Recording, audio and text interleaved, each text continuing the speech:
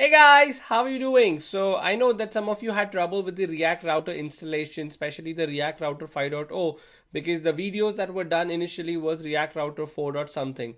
Now what we will do is the way we can handle it is I'll teach you how to do it in React Router 5.0. However, I will keep the videos for React Router 4 because everything else remains the same. The only part is installation where people are having trouble and how to read the documents and how to see the documents.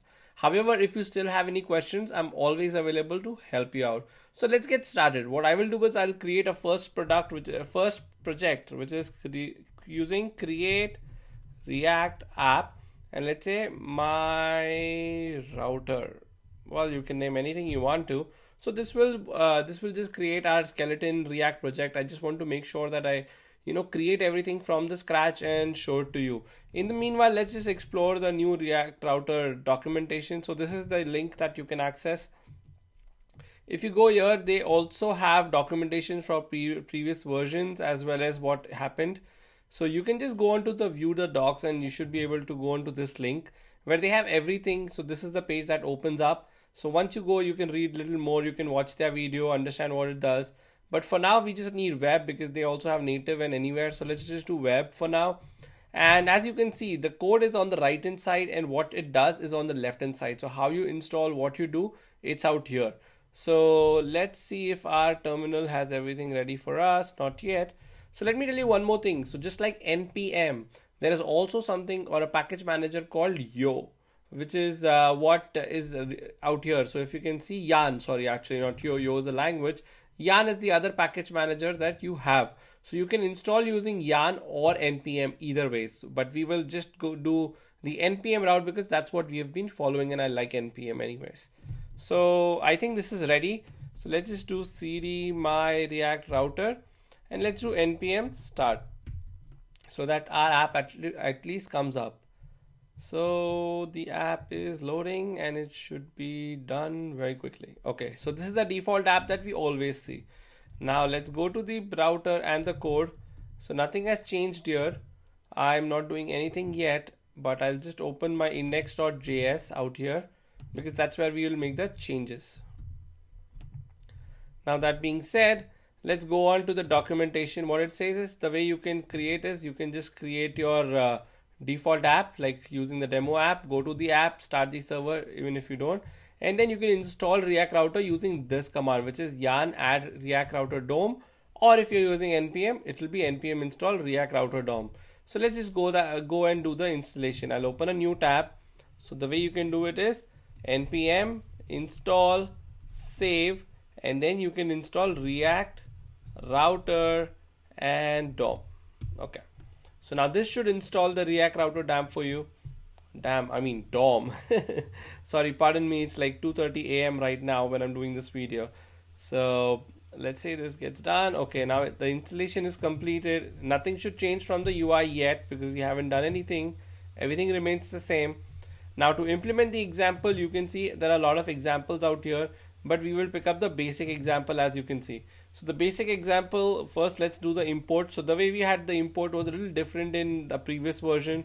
Let's say I'll show you the docs of 3.x. So that will give you an idea on what the installation process was.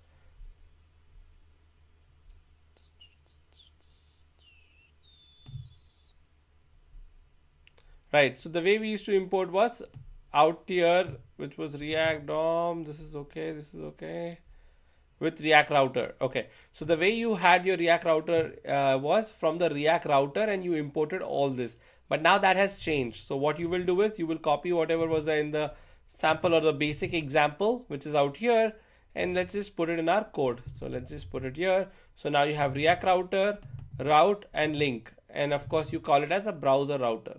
Now that being said, it comes from React router DOM versus React router. Now the next thing that we're going to do is we will pick up the router as it is and replace it with the app that we have. So that's what we have done in the examples that we have. So if you uh, have stuck on this video, go on to the next few videos and you will see what happens.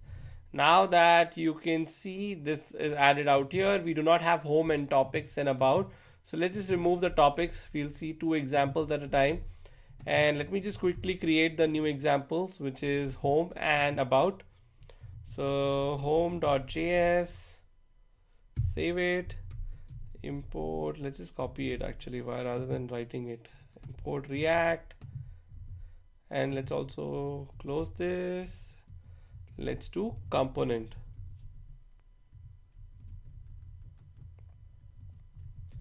Let's do class home extends component render return.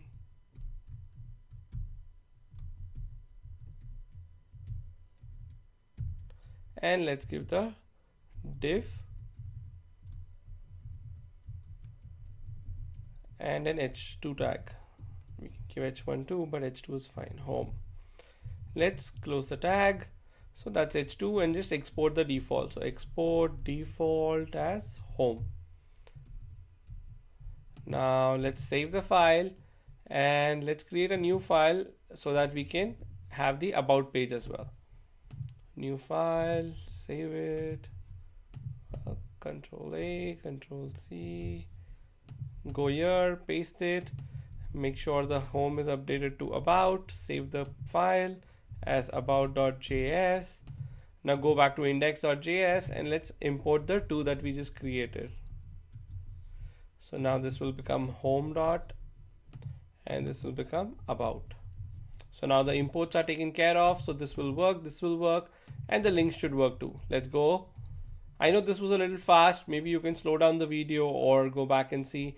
Let's go back to our app and you should see that there are two links about and home but home also gets displayed here which is the default URL also so you do about you do home and home will take you to default all right so now that I have opened this up uh, I can show you quickly how we had it previously so previously we had everything inside a route and then the app. So now you can see that the home and about both work as a link.